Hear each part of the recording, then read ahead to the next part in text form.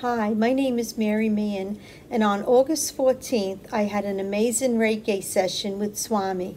I was diagnosed with MS many years ago, and nine years ago, I had an MS attack on my leg. I woke up one morning and my leg was locked, and I could not open my knee, so I begged my husband uh, to pry open my leg so I could put my foot down on the floor, and he did. I felt everything tear inside the knee, and I knew it would never be the same. I am in pain every day, and I have arthritis, swelling, and stiffness, and it's progressively getting worse. So I went into our Reiki session with no expectations. Swami was wonderful. He was kind, compassionate, and I found, found him to be very, very sincere. So I was really open to any healing on that day.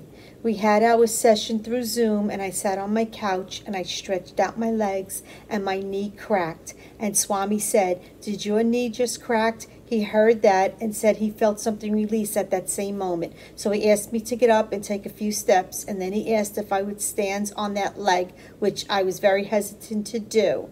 And he told me to please trust. So I did. Although I was hesitant. I did not feel any pain and I did not feel any Disney, dizziness. Uh, I was baffled on how I was able to do that. And I am now able to bend my knee. I do simple exercises without any pain or discomfort. Today I walked up and down a staircase without using two feet on each step. Swami is blessed with an amazing gift, and I feel so fortunate to have met him. I even now consider him a friend.